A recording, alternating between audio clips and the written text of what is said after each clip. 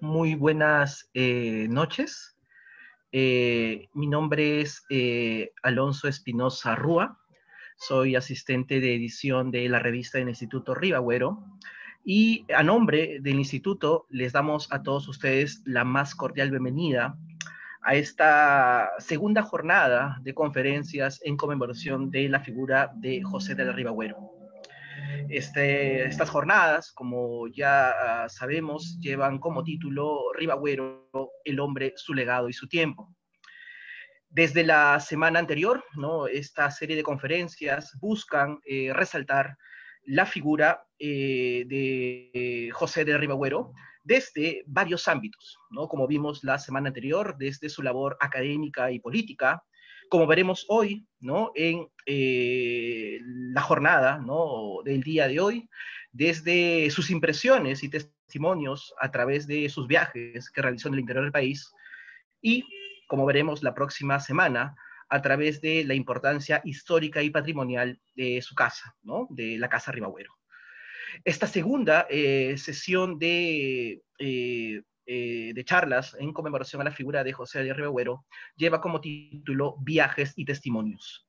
Y tenemos para esta sesión la participación de tres eh, magníficos eh, ponentes. La doctora Ana Sabogal, el doctor Jorge Vice y el doctor Luis Basigalupo. iniciaremos ¿no? esta jornada cediéndole la palabra a la doctora Ana Sabogal. ¿no? La doctora ah, Ana Sabogal es doctora en Ciencias Naturales por la Universidad eh, Técnica de Berlín. Es además máster en Ciencias eh, con posgrado en Desarrollo Agrario Internacional y también cuenta con una especialidad en Ecología Vegetal por la misma universidad, ¿no? Universidad Técnica de Berlín.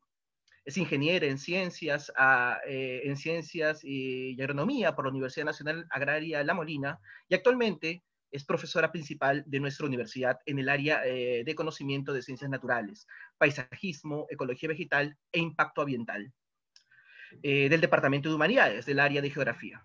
Es también eh, actualmente directora de la maestría en desarrollo ambiental de nuestra universidad. sin más, le damos la palabra a la doctora Sabogal, ¿no? Para que inicie esta serie de, de charlas en relación a Ribagüero, viajes y testimonios. Adelante, doctora. Muchísimas gracias, Alonso. Eh, buenas tardes a todos. Un gusto tenerlos en esta conferencia.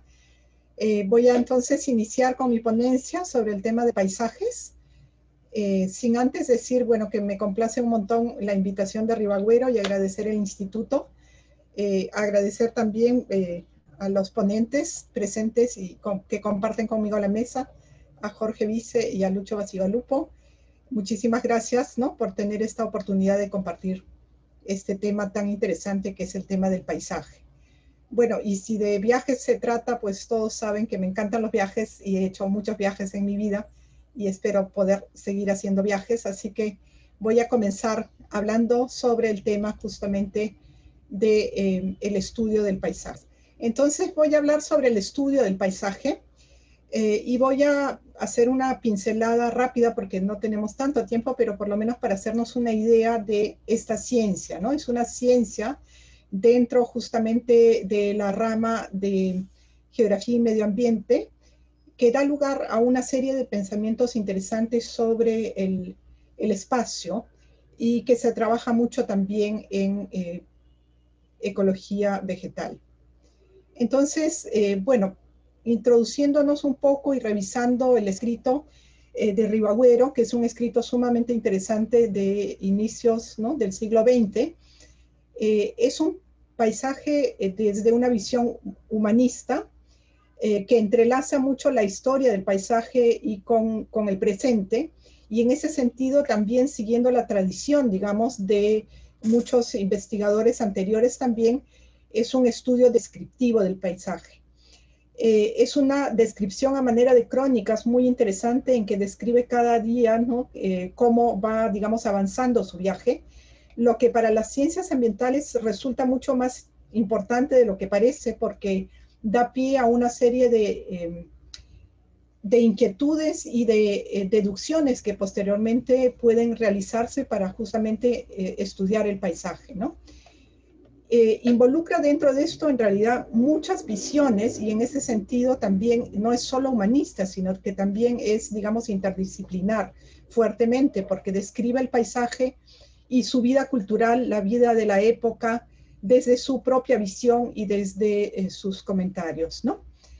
Eh, en este, digamos, em, en este espacio también hay un em, una persona muy importante que estudió el Perú y que, digamos, entre los precursores del estudio del paisaje en el Perú están, por un lado, Humboldt, a quien todo el mundo conoce, Alexander von Humboldt, que es uno de los primeros que describe la naturaleza eh, de nuestro país.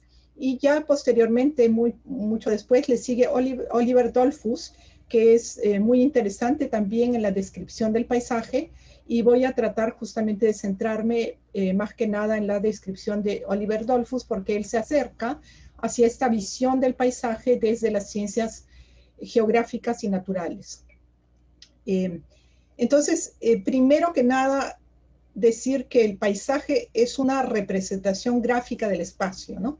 Y en ese sentido también es una forma de ver el mundo desde arriba, ¿no? Como bien representa este cuadro de Caspar David Friedrich, eh, nos subimos o sobrevolamos el territorio y desde esa visión de sobrevuelo podemos ver cómo es este territorio, ¿no?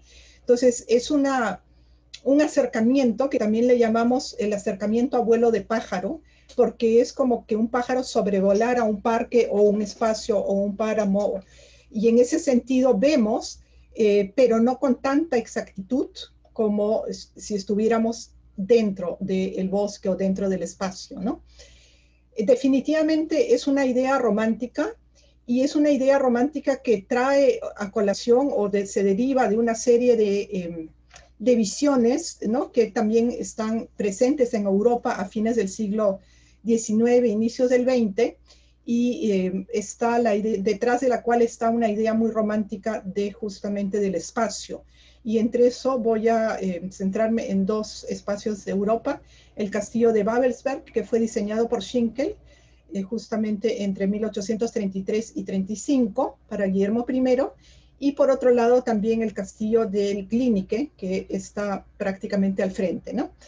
Entonces es un paisaje visto desde una perspectiva externa, que es algo que también trabajamos mucho en geografía y medio ambiente. O sea, no podemos estar inmersos dentro, sino que nos alejamos ligeramente y desde esta visión algo lejana miramos hacia, hacia afuera, ¿no? Entonces, este, por ejemplo, es el castillo de Babelsberg, ¿no? Esta es una, una foto lejana en la que vemos algo muy importante para la descripción del paisaje y es justamente esta, esta vista eh, que es muy valorada eh, porque no se centra solamente en un elemento, sino que une y entrelaza los conceptos, ¿no? Eh, podemos ver en este segundo, bueno, este es el castillo de Babelsberg a lo lejos, desde el cual justamente se ve Potsdam y se ve también a la lejanía una serie de, vistas trabajadas por Carl Linneo, que es justamente un botánico de la época muy importante que describe esta visión. Eh, aquí tienen en cuanto al diseño del jardín de Babelsberg, que es bien interesante porque se utilizó, y esto es casi anecdótico, pero me pareció bien interesante, se utilizó esta máquina que en su época está representada aquí, pueden ver cómo cargan un árbol grande, ¿no? Con raíces y todo, llevándolo hacia, eh, hacia el castillo. Y esta máquina está aquí delante del castillo actualmente, ¿no? Este es el otro castillo que está prácticamente al frente, que es el castillo de Glienicke, donde se construye más o menos en la misma época y ambos son construidos por Schinkel. Este en realidad es remodelado por el arquitecto Schinkel, que es un arquitecto muy importante en su época y es rediseñado para Carlos de Prusia, ¿no? Entonces pueden ver aquí justamente la visión nuevamente hacia el espacio del castillo, eh, que son sumamente importantes las visiones en general desde esta perspectiva abuelo de pájaro. Bien, entonces, eh, pasando a esto, vamos a ver que la lectura del paisaje, como le llamamos nosotros, es una observación y una descripción de los elementos que lo componen. Es un análisis desde una visión abuelo de pájaro, es una comprensión o un análisis de los elementos y una descripción de estos elementos y a fin de cuentas una interpretación de este, de este espacio existente, ¿no? Cuando pasamos ya a lo geográfico, disgregamos este paisaje en elementos y vamos a ver que estos elementos van a componer el tiempo, o sea, van a, vamos a estudiar la, geología, la evolución, la ecología y la población, el espacio, y esto es lo curioso porque esto es casi vedado, digamos, para, para las ciencias naturales porque normalmente no podemos mezclar espacios de tiempo, y aquí se mezcla el tiempo y el espacio, y eso es lo característico, ¿no? Entonces, en ese espacio eh, se definen unidades físicas o unidades ecomorfológicas que son importantes, por otro lado, se añade a esto la sociedad y la biodiversidad y se mezclan las tres temporalidades, el pasado, el presente y se proyecta hacia el futuro.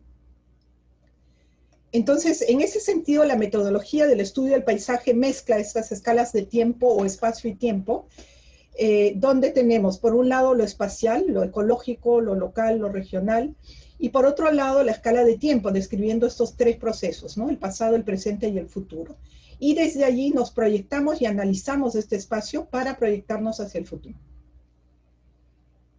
Pasando ya al Perú, ¿no? Y viendo cómo, digamos, esto se traslada hacia el Perú, vamos a ver que hay una serie de geógrafos y naturalistas que justamente toman estas ideas eh, y también las eh, trabajan mucho para el Perú. Uno que no podemos dejarme de mencionar es Pulgar Vidal, eh, que pues describió y hasta ahora tenemos la clasificación de eh, las regiones naturales de Pulgar Vidal para todo nuestro país. ¿no? También es una visión justamente del espacio distribuida según las características morfológicas de este espacio. Y finalmente, ya para aterrizarlo en lo que dije y prometí al inicio, está justamente el estudio de Dolfus, Dolfus hace un estudio bastante detallado y describe lo que él denomina los geosistemas según los pisos eh, térmicos. Describe entonces diversas clasificaciones y describe todos los Andes del Perú. Es muy detallado en su descripción y dentro de esta descripción incluye eh, varias características como son la densidad poblacional, la altitud, que es sumamente importante eh, para el Perú, el sustrato geológico, los suelos, en este caso volcánico. Yo me voy a centrar justamente en el piso, el piso frío en una ciudad llamada Lampa, que voy a describir en un ratito también. Entonces, vamos a ver que describe también los factores geográficos y la cubierta vegetal de este espacio. Entonces, en estos geosistemas fríos vamos a tener pues características eh, peculiares de temperatura, heladas frecuentes, zonas periglaciares o anivales, bajas densidades de oxígeno, animales ¿no? Eh, característicos como las alpacas, las llamas, los ovinos, actividades mineras y vamos a tener dentro de este espacio el límite del poblamiento. Los geosistemas fríos, también descritos por Pulcal Vidal bajo los nombres de Puna y Suni, están justamente en estas características y albergan eh, mesetas volcánicas peculiares para el mundo entero, ¿no? Eh, que contienen formaciones lacustres y extensiones glaciares y fluviglaciares cuaternarias muy características y formaciones vegetales de especies como por ejemplo Polilepis, que es muy característico para el Perú, ¿no? entre otros muchas, muchas especies. No me voy a centrar en la botánica porque todos estos nombres son un poco raros, pero creo que es interesante verlos por lo menos aquí escritos. Entonces, eh, al describir desde este punto de vista esta ciudad de Lampa, que tuve la suerte de conocer hace ya muchos años y que me llamó mucho la atención, es una ciudad eh, que se sitúa justamente en este piso geotérmico. Es una ciudad antigua, fundada pues en 1678, donde se desarrolló la minería de la plata mixta, eh, en el siglo XIX con una fuerza e importancia muy grande. En la época incaica es una ciudad por donde pasa también el camino inca y que después más bien queda eh, separada un poco del mundo. Y eso es lo interesante y lo que me gustó en el estudio de la ciudad de Lampa, eh, donde tuve justamente la suerte de realizar un, estudio paisajístico y de la vegetación. Eh, la gran ventaja para los estudiosos de la naturaleza es que quedó desconectada entonces se formó un proceso de regeneración de la naturaleza eh, propia del lugar con características peculiares de lo que nosotros llamamos sucesión secundaria, o sea, de regeneración del ecosistema, una regeneración natural que dio pie a eh, características peculiares. ¿no? Esta ciudad, además de ello, posee también características muy propias eh, que son muy importantes desde el punto de vista cultural. ¿no? Entonces tuvo un auge bien, bien importante y actualmente, por ejemplo, eh, una de las características posee una copia de la piedad de Miguel Ángel y es una copia real, no es una copia, eh, digamos, falsa, sino es una copia hecha sobre la misma imagen. No sé si recuerdan que ya hace varios años, más de 10, si no, si no 20, le rompieron la nariz a la estatua. Entonces se viajó a Lampa para tomar ese modelo y poder restaurar la estatua de Miguel Ángel que se encuentra en Roma, ¿no? Entonces, eh, tuvo un auge muy, muy interesante y eso es lo, sumamente interesante. También tiene una réplica de las andas de la Virgen del Rocío, que es totalmente hecha de plata eh, y que es pues una joya a nivel mundial.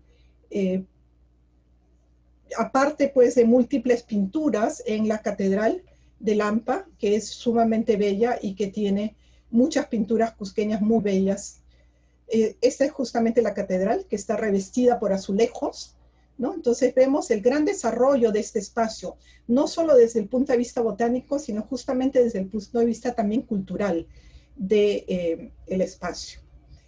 Visto desde, desde arriba, ¿no? Antes de aterrizar, esta es la ciudad de Lampa.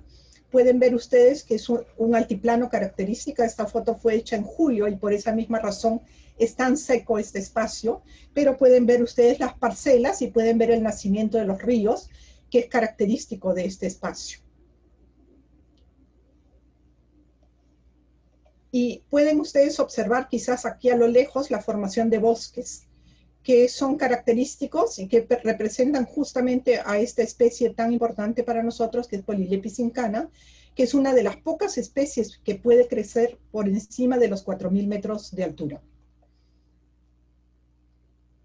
Entonces, dentro de, este contexto, cabe resaltar que el paisaje se ha vuelto cada vez más importante, uno, por los estudios interdisciplinarios que actualmente son tan relevantes, y dos, eh, tanto es así que actualmente estamos en el diseño de la restauración de los ecosistemas declarada por, por la ONU, que establece justamente como método de restauración del paisaje, perdón, como método de restauración el paisaje y la conexión entre los fragmentos del paisaje.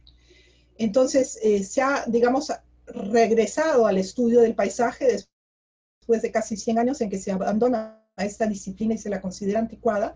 Actualmente más bien se regresa y se declara eh, como un diseño en el cual debemos justamente enfocarnos hacia las conexiones entre los paisajes, la unión entre los diversos fragmentos como lo es justamente el estudio de la ciudad de Lampa, que como les decía, en su época fue muy conectada y por ahí pasó el camino Inca, pero posteriormente se desconecta y queda aislada.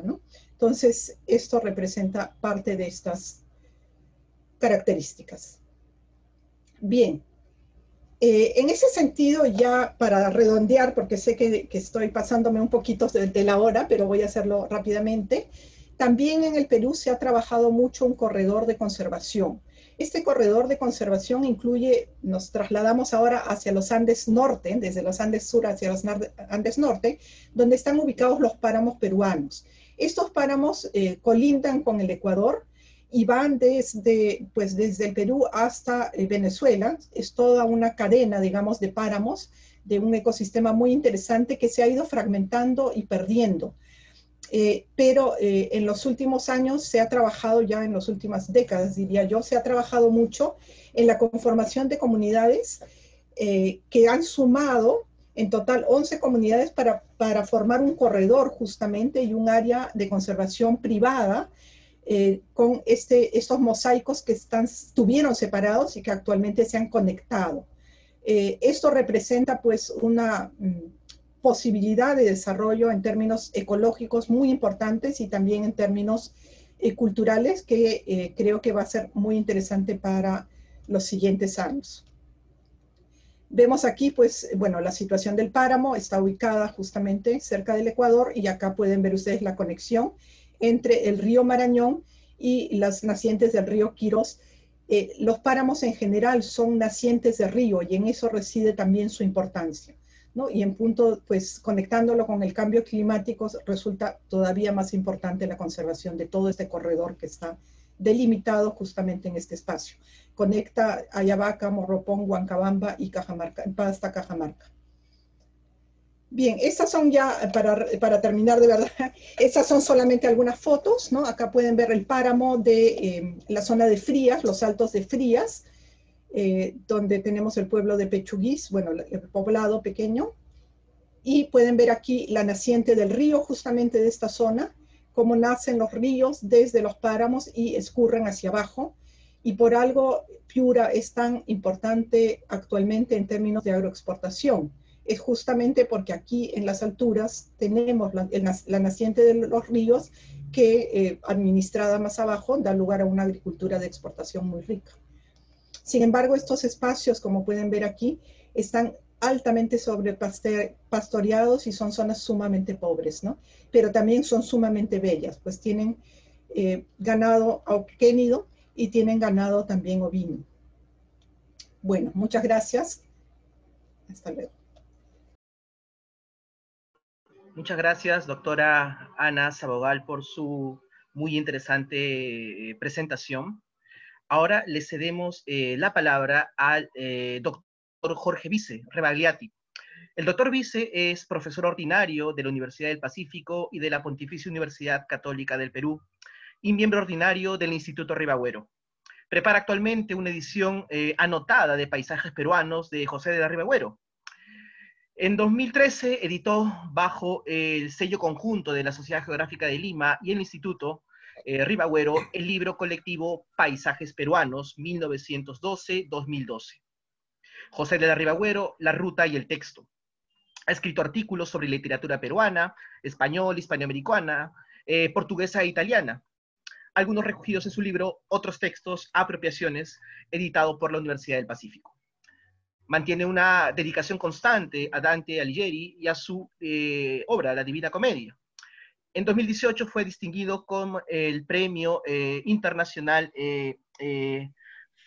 Fliapio de Italianística por su ensayo eh, Dante contempla la Trinidad. Dante contempla la eh, Trinidad, editado por la Universidad eh, Católica C. Sapiense y el Instituto Italiano de Cultura de Lima. Le cedemos entonces la palabra al doctor Jorge Vice. Alonso, muchas gracias. Muchas gracias a mis compañeros de mesa, si es que puedo tratarlos de esta manera y muchas gracias a los organizadores y a las autoridades del instituto por eh, darme la oportunidad de estar en este espacio tan querido, aunque sea de esta manera. Antes de empezar eh, a hablar sobre paisajes peruanos, quisiera dedicar mi intervención a, Lucho Repeto, a Luis Repeto Málaga, entrañable amigo, y uno de los grandes conocedores de este libro, que es Paisajes Peruanos. Empiezo. Con la publicación en 2018 del tomo 27 de las obras completas de Ribabuelo, que corresponde a los viajes de don José, tomo que se preparó gracias a la labor del equipo liderado por Margarita Guerra, se ha vuelto posible, por fin, dibujar la figura cabal del gran viajero que fue Ribagüero. En relación al viaje de 1912, que es el origen del libro, las notas sobre su estancia en Bolivia y Puno completan la información contenida en paisajes peruanos y a la vez muestran cuán distinto y singular es este libro, que se aleja de la mera crónica de sucesos ocurridos en un itinerario, que es lo que se aprecia al leer las notas de Ribagüero sobre su viaje a Bolivia y a Puno. Trataré de dar cuenta de esta singularidad. Luis Alburquerque ha caracterizado al relato de viajes acudiendo a tres binomios, factual ficcional, descriptivo narrativo y objetivo subjetivo. Entonces, los relatos de viaje son, uno, relatos factuales, de cosas que ocurrieron, en los que, dos, la modalidad descriptiva se impone a la narración y tres, cuyo balance entre lo objetivo y lo subjetivo tiende a decantarse del lado del primero, es decir, de lo objetivo, más, más en consonancia con su carácter testimonial, aunque en paisajes el carácter ensayístico que este libro comparte con los libros de viajes de los escritores de la generación española del 98, matice esta última característica. Como lo afirma Miguel Ángel Pérez Priego, el relato de viajes se articula sobre el trazado y el recorrido de un itinerario que constituye la armazón básica de este. Existe un orden cronológico y es el orden espacial, no el tiempo, el que crea el verdadero orden narrativo. Puede afirmarse que, como todo relato de viajes, paisajes peruanos se construye a partir de una superestructura, la narración de marco. Otras narraciones pueden imbricarse en ella, como lo hacen también descripciones y ensayos argumentativo-expositivo, normalmente a partir de un topónimo, es decir, de un nombre de lugar, de los que pueden considerarse expansiones. Si bien, como lo ha indicado Alburquerque, la descripción predomina sobre la narración, en un estudio proponemos incluso una clasificación del rico componente descriptivo paisajístico del libro, viñetas, estampas, retablos, imágenes hermenéuticas. Ribagüero crea narraciones de tersa calidad literaria.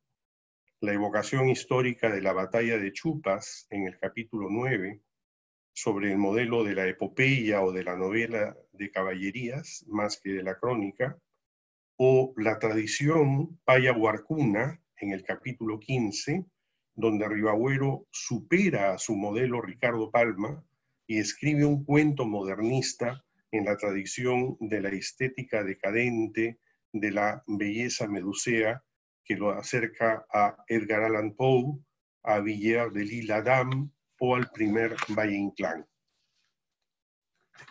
Si bien Paisajes Peruanos sigue el esquema de los relatos de viaje propuesto por Alburquerque, y es el orden espacial y no el temporal el que crea el verdadero orden narrativo, hemos encontrado útil el concepto bastiniano de cronotopo para explicar determinados rasgos específicos del libro de Ribabuelo.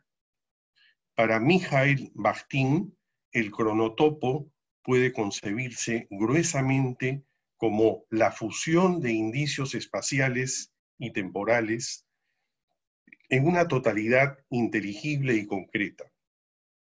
El cronotopo que hemos identificado en paisajes peruanos es el del camino, específicamente, el camino real incaico, el Hapak Ñan, y su orientación sur-norte es determinante, pues va del Cusco, la ciudad más emblemática de la sierra peruana, síntesis grandiosa de lo inca y lo español, hasta Huancayo, la ciudad en que se dio la constitución de 1839, con la que se terminó de sepultar, en el juicio de Ribagüero, la ilusión del gran Perú que supuso la Confederación Perú-Boliviana. La idea trágica, Ribagüero admite ser lector de Nietzsche, puede predicarse tanto de todo el periplo como de los contrastes geográficos que se presentan en él. Las etapas, los diferentes puntos del camino, que Raúl Porras ve como apachetas, dentro de la orientación general, que es la significativa, no se articulan causalmente como en una novela y no son sustituibles, no por respeto a la lógica narrativa, sino por su fidelidad a la ruta, al camino. En síntesis, además de dar cuenta de su recorrido por la sierra peruana, Ribagüero propone una interpretación trágica, tensa, dramática de la historia del Perú.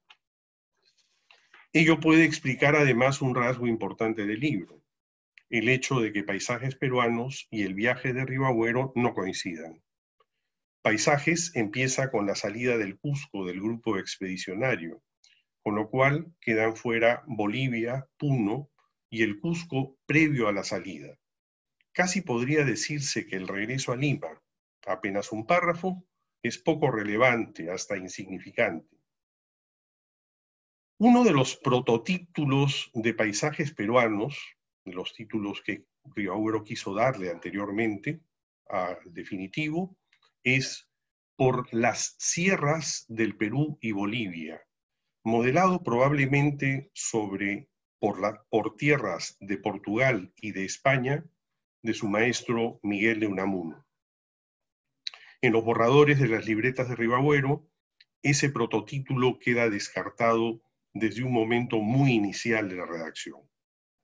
Según Gabriel Ramón, la ausencia de referencias a Bolivia se explica por lo que él llama el silencio de Tiahuanaco, la probable renuencia de Ribagüero a comenzar su libro con un polémico sitio arqueológico que fue el centro de una civilización andina que precedió a la de los incas. Y si el Cusco es el corazón y el símbolo del Perú, como se dice en el primer capítulo de Paisajes, el relato debe empezar con esa ciudad. El hecho de que comience saliendo de la capital imperial y no llegando, como sería lo natural en el relato del viaje, tiene que ver también con la mirada retrospectiva con que empieza a sugerirse el cronotopo. Algo más respecto de este punto. Es clara la preferencia de Ribagüero por la sierra como eje y base de la nacionalidad peruana. Lo señala explícitamente en el último capítulo, el 17. No dejan de sorprender las razones del limeño. La costa es insular, dice Ribagüero, la sierra indivisa. Sorprenden sobre todo cuando el relato del viaje esforzadamente soportado por él prueba que la sierra, al alternar gigantescos paisajes abruptos y reducidos e idílicos paisajes amenos, podría ser tan insular como la costa, por lo menos horizontalmente, si no verticalmente. Ribagüero se refiere también, a su modo, a los pisos ecológicos, detalle notado por Fernando Roca. Pensamos que para poder justificar esta elección, quizás Ribagüero haya subsumido la imagen del cronotopo del camino en otra que la supera, la de la cordillera de los Andes, imaginada como espina dorsal. Curiosamente, la misma imagen que el español Giner de los Ríos aplicaba a la Sierra de Guadarrama, acicate de muchas de las reflexiones sobre Castilla de los pensadores españoles del 98 y del 14. Luis Alburquerque observa que el relato de viajes que es Paisajes Peruanos presta su forma literaria a través del paisaje y sus gentes a consideraciones más propias del ensayo. Es el carácter testimonial del género, que viene definido por la observación en primera persona del escritor viajero, que reafirma sus convicciones sobre la patria con la autoridad que le inviste su condición de testigo. Como ocurre con los escritores de la generación del 98, Ribagüero acude al ensayo para discutir de la historia y de la intrahistoria, y para sugerir programas y soluciones a cuestiones acuciantes para el presente y el futuro de la patria. Convendría agregar que Ribagüero no solo engasta ensayos a lo largo del relato de viajes, como partes y aún casi como capítulos completos, sino que todo el libro afecta a un tono ensayístico. El que este rasgo lo vincule a sus dos grandes libros, a sus dos grandes libros previos, Carácter de la literatura del Perú independiente y La historia en el Perú, no hace sino volver más evidente la diferencia entre paisajes peruanos y esos. Pues el libro de viajes muestra que ensayo, narración, tanto la narración de Marco como las otras, y descripción, juegan polifónicamente entre sí y se reúnen en una totalidad de sentido que ninguno de esos géneros textuales habría podido sugerir por sí solo. Esta polifonía engrandece al texto y convierte al relato de viaje en un rico mosaico a la vez plural y unitario. Muchas gracias. Muchas gracias al doctor eh, Jorge Vice por su muy interesante presentación. Y ahora eh, pasamos a presentar a nuestro tercer eh, ponente, el doctor Luis Eduardo Basigalupo. El doctor Basigalupo es doctor en filosofía por la Universidad de Berlín y ha sido profesor principal del Departamento de Humanidades de nuestra universidad. Fue subdirector del Instituto Ribagüero entre 1991 y 1998, así como director del Consorcio de Universidades entre el 2000 y 2004. A su vez también ha sido director académico de, responsabilidad social de la PUC entre el 2004 y 2009. Es autor de eh, la publicación Intención y Conciencia en la Ética de Abelardo, texto publicado en 1992, Los Rostros de Jano en el 2011, así como de varios artículos sobre filosofía medieval, ética y temas vinculados a la historia del cristianismo. Actualmente está escribiendo el libro Aristóteles en París, publicación de próxima aparición.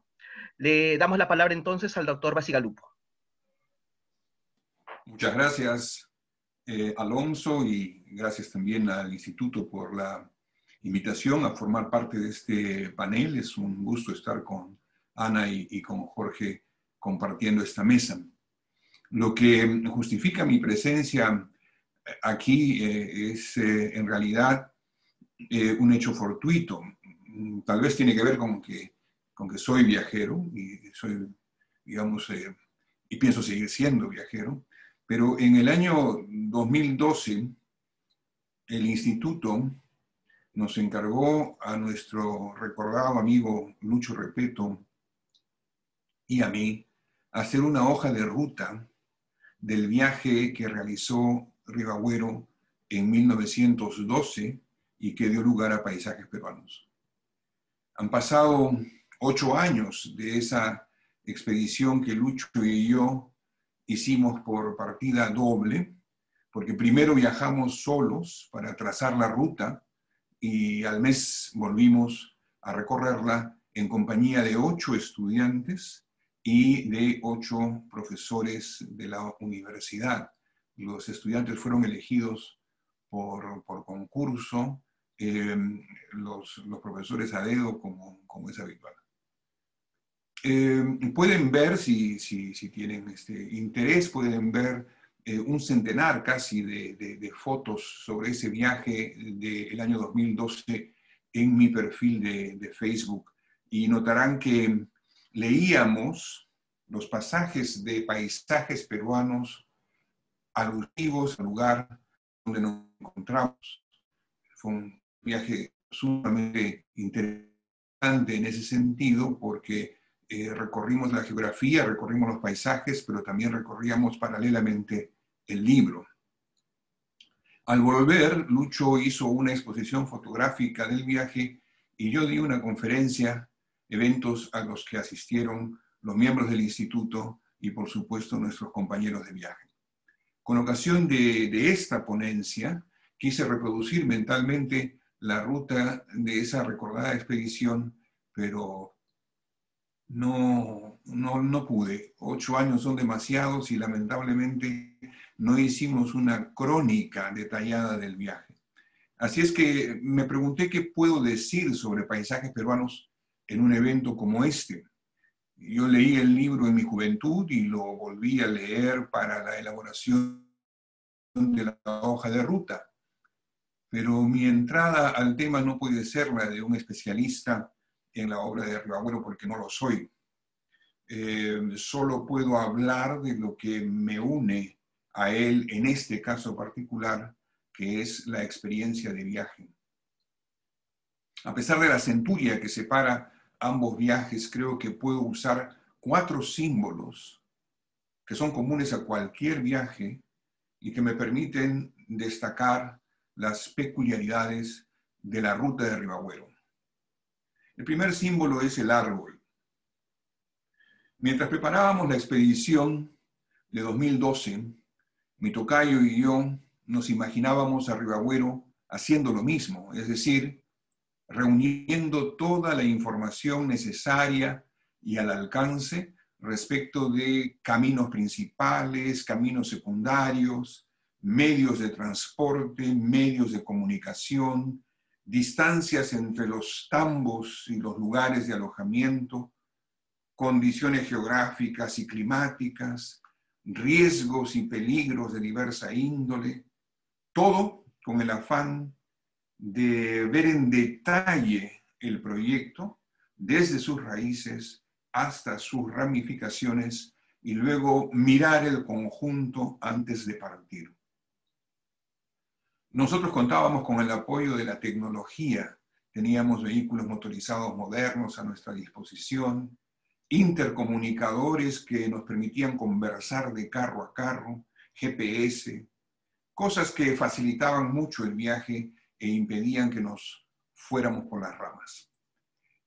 Si bien seguíamos la ruta de 1912 lo más cerca posible, por momentos nos teníamos que alejar de ella, porque la caravana de Ribagüero transitaba caminos de herradura que iban por los valles y solo subían a los cerros si había algún impedimento geográfico o cuando debían alcanzar algún pueblito para pernoctar. Nosotros, en cambio, casi siempre íbamos por las alturas, porque las carreteras modernas evitan, por lo general, los valles estrechos.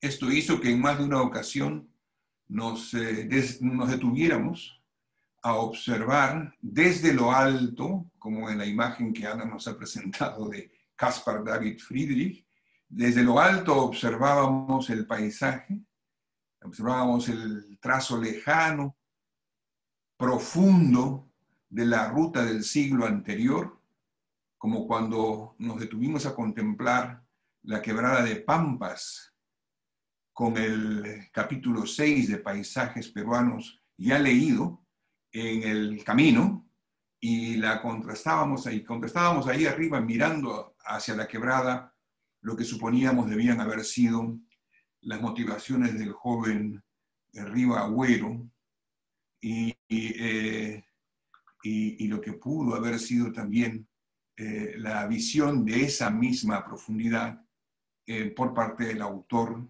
de Los Ríos Profundos. El segundo símbolo que quiero utilizar es el abismo. Una de las cosas que más atrae a los viajeros es el hecho de estar obligados a tomar decisiones literalmente sobre la marcha. Un viaje es un ingreso desafiante al reino de la incertidumbre.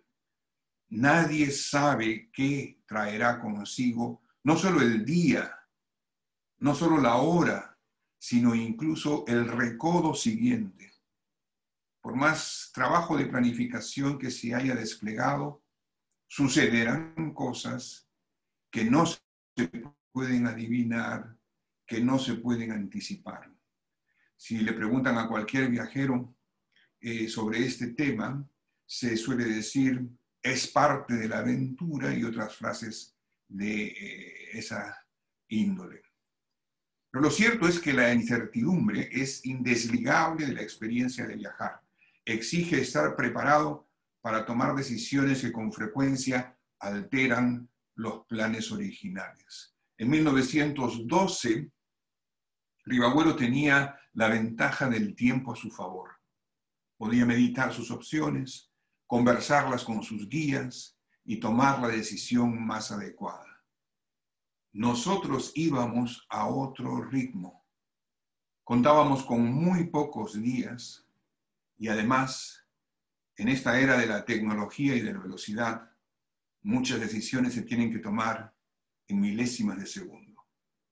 Recuerdo la preocupación que nos causaba a Lucho y a mí durante el primer viaje, un tramo de la carretera en las alturas de Guanta, camino al pueblo de Concepción, que es una trocha cubierta de cascajo, en cuyo ancho entra solo un vehículo, con un abismo de unos 700 metros en caída vertical. No había una opción más corta. Eran esos cuatro o cinco kilómetros o todo un día más de viaje. Y en el segundo de nuestros recorridos, decidimos surcar esa cornisa con los estudiantes a bordo. Recuerdo el silencio riguroso en que entraron de manera espontánea los intercomunicadores. Podíamos escuchar no solo el motor, sino hasta el roce del caucho en el cascajo. El tercer símbolo, la montaña. Cuando salimos de viaje, lo hacemos siempre con un tropel de expectativas, sobre todo si vamos a recorrer una ruta por primera vez. Antes de partir ya hemos imaginado muchas cosas. La experiencia de la expectativa consiste en una confrontación de prejuicios y realidad. Siempre es la imaginación la que se rinde ante la realidad porque los paisajes, las personas y los sucesos nos sorprenden. Si juntamos esta característica con la anterior, que es el abismo de la incertidumbre, tenemos los ingredientes para el placer de viajar. La imaginación pone las expectativas, la incertidumbre la atracción y la realidad pone las sorpresas si no hubiésemos tomado la ruta de Concepción que acabo de mencionar, no nos hubiéramos encontrado con el maestro del pueblo que vigilaba a sus alumnos en la hora del deporte. Me apena haber olvidado su nombre. Él no que había visitado su pueblo 100 años antes. Le obsequiamos un ejemplar de paisajes peruanos y recorrimos con él la plaza y un par de calles aledañas. Rostros, costumbres, conversaciones al paso y sobre todo conexiones inesperadas como la recepción que nos dio la familia Zulca en Huamanga, con recital incluido a cargo de la esposa y la nieta de don Antonio. Cuanto más abierta la expectativa del viajero, más enriquecedora es la experiencia.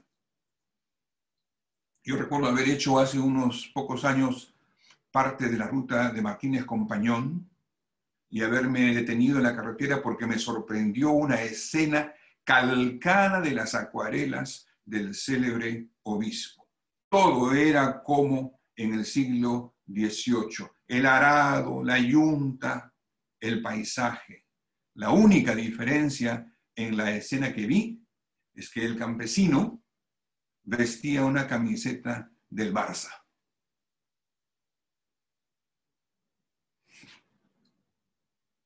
Cuarto símbolo, el agua. Pocas actividades pueden hacernos ver quiénes somos con la eficacia de una peregrinación. Al viajar, nos damos cuenta de lo mucho que ignorábamos acerca de la geografía natural y humana Ponemos a prueba nuestra capacidad de salir de problemas con las decisiones tomadas. Enriquecemos nuestra mirada del mundo con lecciones y anécdotas que generan en nosotros nuevas expectativas, ganas de emprender otro viaje. Y comprendemos, por último, la verdad que se esconde tras esa cita de Internet que Internet le atribuye a Mark Twain. Viajar es fatal para el prejuicio, para el fanatismo y para la estrechez de mente. Suena a una cita auténtica, aunque la foto que aparece es del Dalai Lama. Internet no es muy confiable. Esta otra cita de Agüero sí es con toda seguridad de él, la he, la he tomado de paisajes peruanos. Dice así, he concluido mi peregrinación por las provincias verdaderamente características de nuestra sierra. Antes de que las vías férreas y el comercio moderno realicen la obra necesaria y salvadora de vulgarizarlas y desfigurarlas, he contemplado en su aislamiento y su enternecedora miseria las comarcas que fueron el solar del Perú incaico, la entrada del Perú español, el campo principal y el corazón de la historia patria hacia la mitad de la centuria XIX y que algún día han de volver a serlo.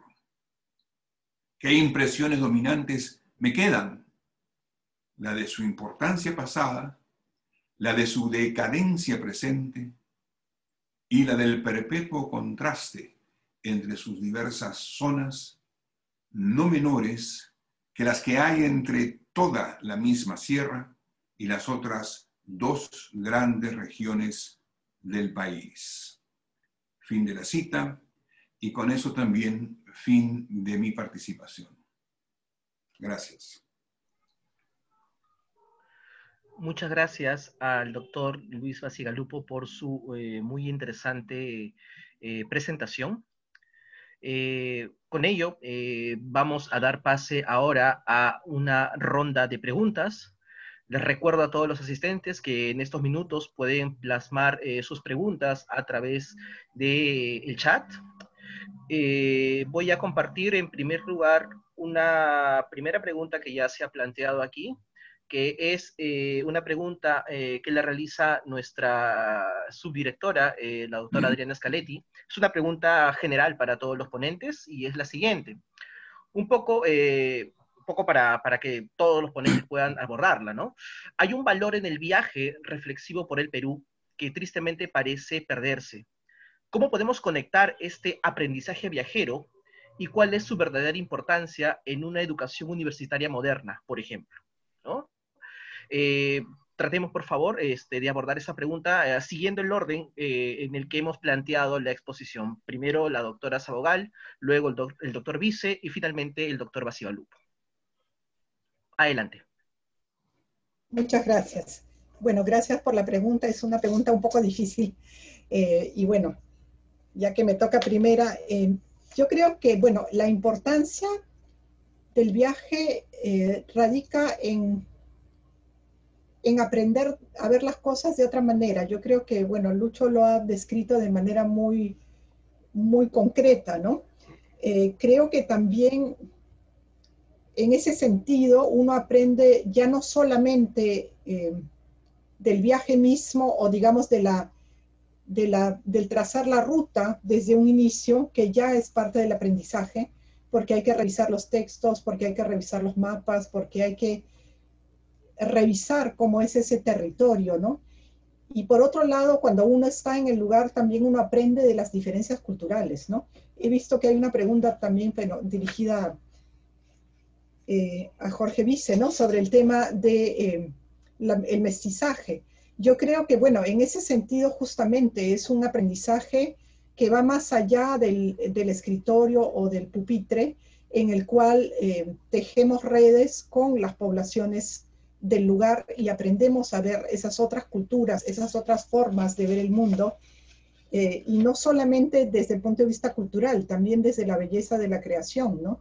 El ver justamente las plantas, las, la riqueza en términos también eh, pues, botánicos, paisajistas, culturales. Creo que es un acercamiento en ese sentido mucho más grande del que podemos tener solamente en aula con fotos, eh, que va también en el sentido de los cinco sentidos, ¿no? O sea, probamos las comidas, probamos, olemos, eh, viajamos, nos cansamos. ¿Quién no ha pasado por peripecias de viaje en que uno tiene que resolver eh, muchas cosas en el momento? También ese es otra, otro aprendizaje en que no está escrito en el libro, sino que uno en el momento tiene que ver cómo resuelve, ¿no? Y muchas veces también con estudiantes, ¿no? Yo he viajado, por ejemplo, a los páramos con estudiantes también, como habrán visto en la foto, eh, con los que, quienes hemos desarrollado lindas investigaciones. Pero en un momento uno de los estudiantes dijo, yo ahora manejo, y le dijimos, bueno, si sabes manejar y tienes brevete, ok, nos turnamos, ¿no? Entonces agarró el timón y, y, y el precipicio era tan grande que no solo había 800 metros, sino muchísimo más, y de pronto no había forma de pasar, entonces él dijo, me pego más hacia un costado, y cuando bajamos del auto, porque ya no podíamos continuar, vi que una de las ruedas estaba en el precipicio, ¿no? Entonces, ese tipo de aprendizajes van mucho más allá, ¿no? Porque uno realmente se plantea toda la vida y dice, qué bueno que estoy aquí, qué linda que es la vida, ¿no? Qué bella que es, que es ver todo esto. Entonces, creo que esas cosas es difícil transmitirlas cuando uno no viaja. Gracias. Le damos el pase ahora al doctor Vice para poder responder esta pregunta que se planteó con este carácter pues amplio para que los tres ponentes puedan abordarla. La repito, podría afirmarse que el relato de paisajes peruanos es la mejor expresión de la visión de Ribagüero sobre el carácter mestizo de nuestra cultura. Ah, ya. Pensaba, pensaba más bien antes en la pregunta de Adriana. Sí, disculpe, disculpe, doctor. Era, era, le voy a repetir nuevamente la pregunta. Este, ¿Cómo podemos eh, un valor en el viaje reflexivo por el Perú que tristemente parece perderse, ¿no? Eh, ¿Cómo podemos conectar este aprendizaje viajero y cuál es la verdadera importancia en una educación universitaria moderna, por ejemplo?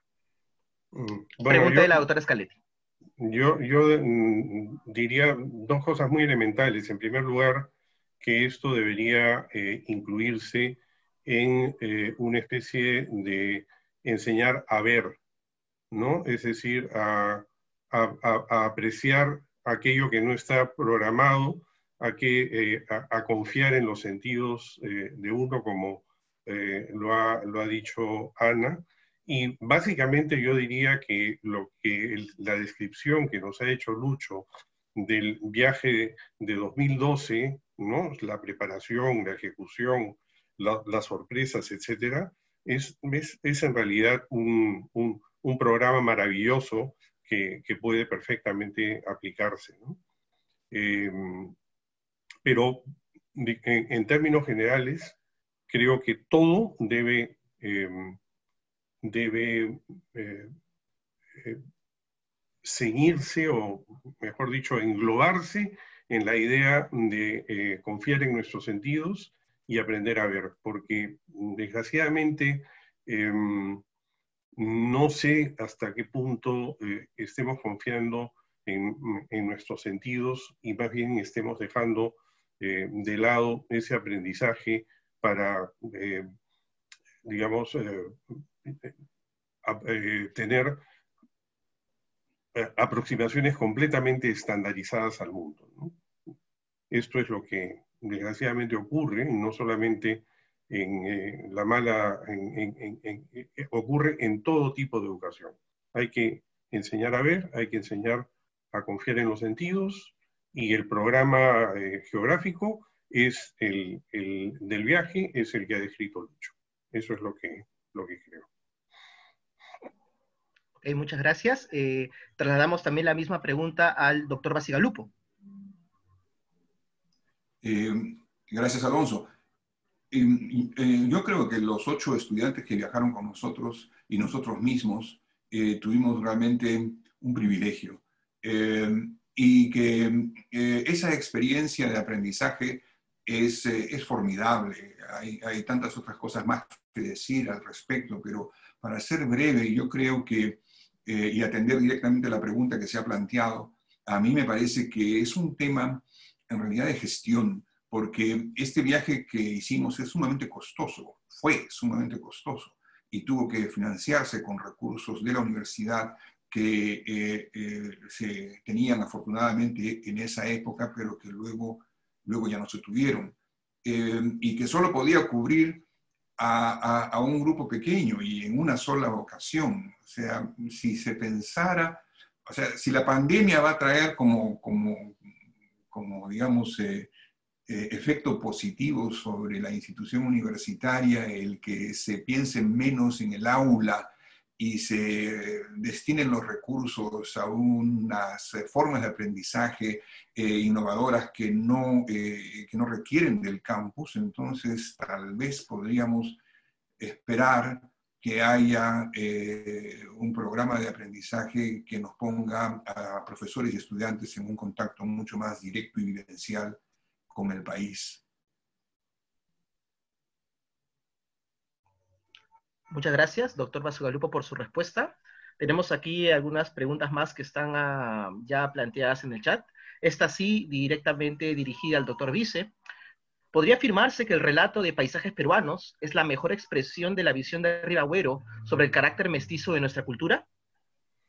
Eh, por lo que yo conozco, eh, le respondo a Emilio que sí, creo que sí, eso es así. Em, hay una parte mm, bien interesante, me parece que es el capítulo 11, que es la reflexión de Ribagüero eh, ante la pampa de la quinoa, ¿no? la reflexión sobre la batalla de Ayacucho, que es en realidad eh, toda una visión de, de la República. ¿no? Y eh, una de las grandes objeciones a las clases dirigentes eh, republicanas de Ribagüero fue que no hicieron del mestizaje, que había sido un dato, eh, digamos, material a lo largo de los siglos de la dominación española, algo cultural, es decir, que no hubieran hecho algo eh, verdaderamente eh, em, espiritual de aquello que era sencillamente para él un dato material. Y Ribagüero, y esto lo hemos conversado con varios, eh, con varios este, investigadores, fue una persona enormemente conocedora del mundo indígena, evidentemente un gran especialista en el mundo de los incas y de las culturas prehispánicas, pero por otro lado era también una persona que apreciaba muchísimo el folclore andino. Una persona que aprecia muchísimo el folclore andino, ¿no? Un limeño que venga, que, vaya de Lima al, al, Ande y aprecie verdaderamente el folclore andino, es una singularidad increíble. Y él lo hacía eh, esa, eh, yo creo que Paisajes Peruanos fue su manera también de volver reflexivo aquello que él sentía que había sido eh, natural y material a lo largo de varios siglos. Muchas gracias, doctor Vice, por su eh, respuesta. Tenemos una pregunta más, esta vez dirigida a la doctora Ana Sabogal. ¿Cómo sería la lectura del paisaje de José de la Riva Agüero en su obra Paisajes Peruanos? Adelante. Sí. Bien, muchas gracias por la pregunta. Bueno, yo creo que, que más que decirlo, yo creo que ya se dijo, ¿no? O sea, yo creo que la lectura acompañada del viaje indudablemente trae muchas experiencias eh, también creo que, digamos, es interesante acompañar esta lectura de una reflexión histórica, ¿no? De lo que era la época y de cómo, digamos, en esa época esto representó eh, justamente otra, otra concepción del tiempo. Yo creo que este, que se mencionó también el tema de la concepción del tiempo en su época con respecto a la época actual es algo interesante también de los viajes y que indudablemente se lee también en esta obra, ¿no?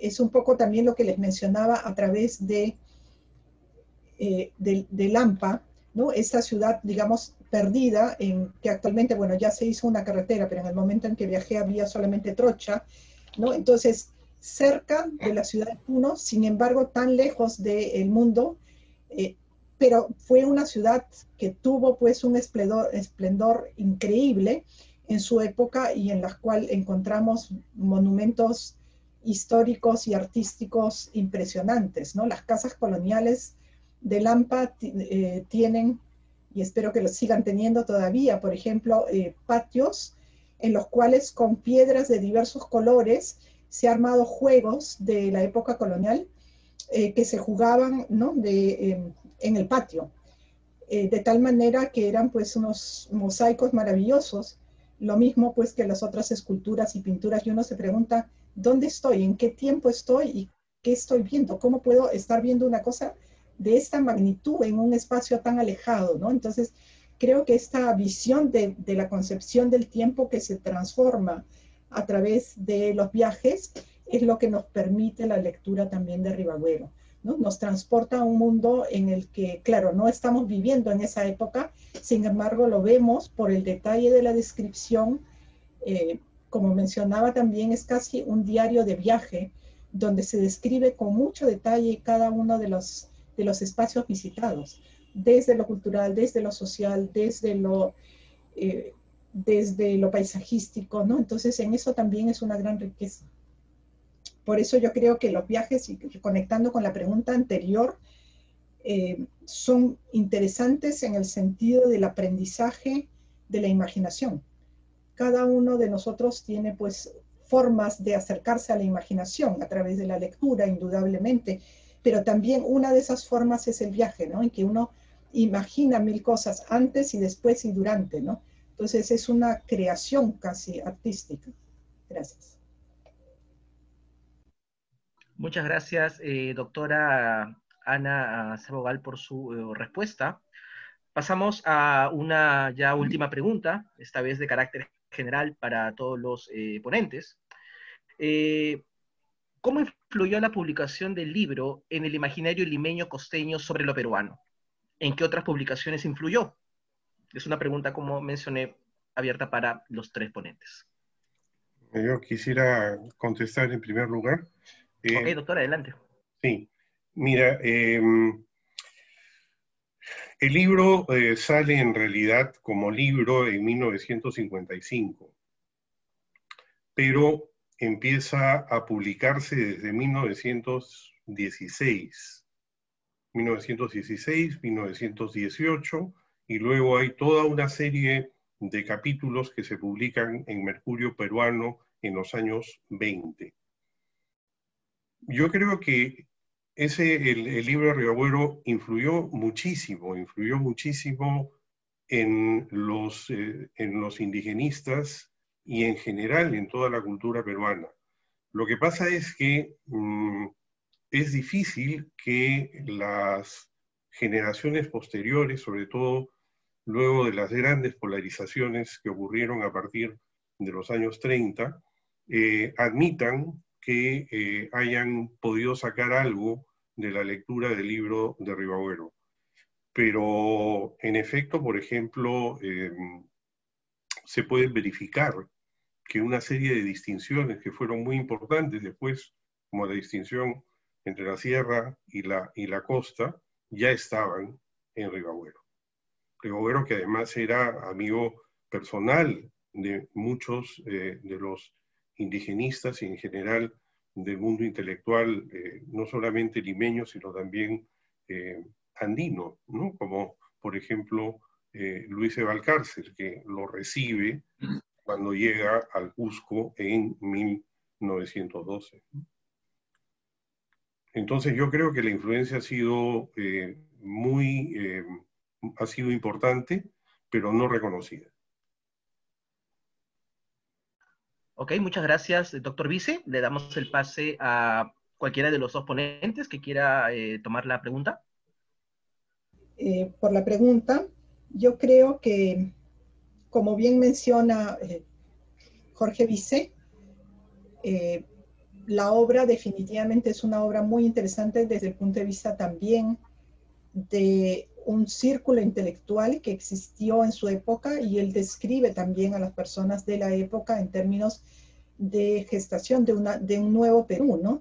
Eh, en ese sentido también creo que es muy interesante eh, porque es una época en que justamente eh, hay muchos intelectuales que cambian y modifican el pensamiento y el acercamiento hacia nuestro país, ¿no? Desde una visión mucho más, digamos, centralizada hacia una visión en que se incorpora mucho más el mundo andino, ¿no? Entonces yo creo que eso es lo interesante, ¿no? Y, y no está exento justamente de los cambios que actualmente vivimos. Eh, yo creo que, digamos, eh, hay eh, muchos precursores de lo que actualmente vivimos, ¿no? El Perú, después de inicios del siglo XX, era muy diferente en términos sociales, en términos también de, de digamos, de, clases sociales, de divisiones, de poderes, de ingresos, etcétera, ¿no? Entonces, por ahí vi también una pregunta sobre el quechua, por ejemplo, el quechua eh, era muy, mm, digamos, solamente lo hablaban algunas personas eh, en, las ciudades porque no era bien visto, digamos, que todo el mundo lo hable. Tampoco era bien visto que la gente tenga otro color. Entonces había una serie de características que en su época eh, eran muy diferentes del mundo que vemos ahora, ¿no? yo creo que en ese sentido, pues es un, una obra que se suma a todos estos cambios y a estas modificaciones de nuestro país que dan y gestan lo que actualmente nosotros vivimos. Gracias. Eh, muchas gracias, doctora Ana. ¿Mm? Eh, sí, yo quisiera, yo quisiera eh, pasarle mi, turno a Jorge como una, como una repregunta. ¿Qué, qué, crees que, explica el, poco reconocimiento eh, y, que, y que diez años después, una década después de la muerte eh, de, de se haya, se, haya se haya publicado Paisajes Peruanos finalmente. Bueno, se publicó por la por el eh, empuje de, de, la, de Belén de Osma y de, y de Raúl Porras. Es decir, el libro estaba, pero había que armarlo y ellos fueron los que lo hicieron. Y mm, hay, eh, de los libros de Ribagüero, es el libro ciertamente más leído y más querido, ¿no? Hay, yo he contado, puedo ser que me equivoque, eh, pero he contado ocho ediciones del libro de Ribagüero. Eh, me parece que el único libro que fuera de las obras completas se ha reeditado ha sido carácter de la literatura en el Perú independiente. Pero en realidad el, libro por el que más se recuerda, por el que más se quiere a Ribagüero, es este, Paisajes Peruanos. Y sobre el asunto del quechua que estaba mencionando Jorge, en Paisajes Peruanos precisamente hay una reflexión de Ribagüero eh, donde, donde propone, donde, donde este, dice que debería haber una cátedra de quechua en, este, en el Cusco para eh, preservar precisamente eh, los grandes monumentos en quechua de la época colonial y también las manifestaciones actuales de la cultura en quechua. O sea que, era, era, era, una, era una persona, como diría Ana, completamente abierta al, mundo andino y muy diferente de, de, la, de, la, de la, como él decía, la pobre, boba nobleza limeña, ¿no? Desde que no supo eh, asumir eh, la tarea de, dirigir al Perú eh, a principios de, la República, ¿no? y que dejó mm. todo en mano, como decía el mismo Agüero, de la casta pretoriana. Así es. Ok, muchas gracias, eh, doctor eh, Dice por su respuesta. Acá tenemos sí una última pregunta y con esto ya cerramos este, esta ronda, dirigida, creo, eh, por la temática para el doctor Basigalupo, ¿no? ¿Qué tan factible es hacer una ruta turística tomando como guía el libro? Ya. tomando como guía, perdón El libro. Tomando como ya el libro, ¿no? ¿Qué tan factible sería hacer una ruta turística? Ah, bueno, eh, eh, eh, totalmente factible. O sea, se hizo así, se hizo Pro Perú, ¿no? siguiendo exacto. ¿Perdón? Lucho, Promperú tiene ¿Perdón? una guía. Promperú tiene una Perú guía. tiene la guía, Perú tiene la guía exactamente de- de- del viaje que nosotros eh, hicimos. No, no, no este, mencioné eso en la ponencia, pero es verdad. Le entregamos a Promperú eh, eh, la hoja de ruta con las fotografías y Promperú sacó la guía.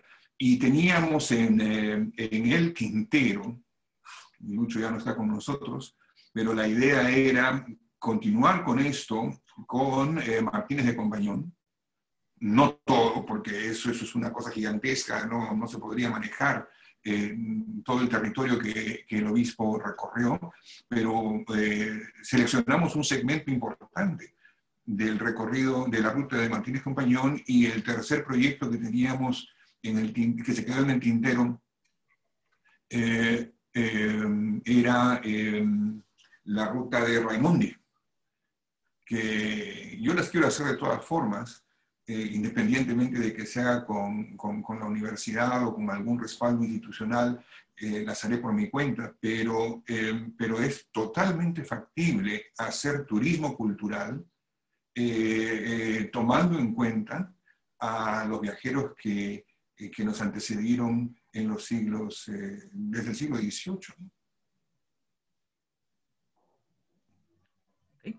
Muchas gracias, doctor eh, Basigalupo, por su eh, respuesta. Muchas gracias a los tres ponentes. Eh, en realidad, sus eh, trabajos, sus eh, exposiciones han sido muy interesantes, le han dado un realce importante en cada una de las áreas del conocimiento en las cuales ustedes se desempeñan ah, para darle una mayor prestancia a la figura de Rebagüero a través pues, de eh, los viajes, de sus viajes y los testimonios que se pueden recoger a partir pues, de, eh, eh, de estos mismos. ¿no? Me tomo estos últimos minutos para invitarlos a todo el público asistente a que visiten nuestra renovada página web, ¿no? Ahí pueden encontrar información actualizada sobre las actividades del instituto. Me permito también estos últimos momentos para hacerles recordar eh, sobre nuestras últimas actividades. En primer lugar, estamos eh, ya llevando a cabo eh, un seminario internacional titulado Arquitectura y Paisaje, Identidad, Memoria Histórica y Proyecto Territorial, que ha iniciado el día de hoy, pero se va a prolongar hasta el 16 de octubre, ¿no? En esta primera sesión que se llevó hoy, eh, se abordó el tema de paisaje y territorio, y en las siguientes sesiones del 15 y el 16 se abordará, se abordará la temática arqueología del paisaje y paisaje y proyecto respectivamente. También eh, me permito este, dar conocimiento de este curso eh, eh, virtual, nuestra primera propuesta virtual desde el instituto, eh, que se da ¿no? en el marco del de, eh, el curso titulado Introducción al Estudio Bioarqueológico de Farros empleando CT, Scan y reconstrucciones en 3D. Es un curso, como dije, ¿no? que tiene una temática virtual. Eh, ha sido organizado por el Museo de Arqueología Josefina Ramos de Cox, quien está próximo también a cumplir 50 años el próximo año, el, el 2021. Eh, hay que tomar en cuenta de que este curso ha tenido una gran acogida, ¿no? Hemos ya agotado las eh, eh, vacantes para el curso, por lo que eh, tomamos con muy, un buen pie esta iniciativa. ¿no? me queda más también, ya para cerrar esta sesión, recordarles que la próxima convocatoria para seguir con estos conversatorios sobre Ribagüero será el próximo miércoles 21 de octubre, en el que tocaremos la temática de la casa del Ártiga y la vida cotidiana. ¿No? Eh, estarán como expositores eh, la profesora Darrieta, el doctor Carlos Garbes y el señor Carlos Guizar. ¿no? Eh, les agradecemos a todos por su atención, ¿no? Nuevamente nuestros agradecimientos de parte de todo el personal del instituto por su asistencia y los esperamos en nuestra próxima sesión la siguiente semana. Muchas gracias a todos. Muchas gracias. Un gusto. Muchas gracias a los Gracias. ponentes, al doctor Vice, al doctor Basigo Lupo, a la doctora Sabogal. Muchas gracias. Ustedes. Gracias.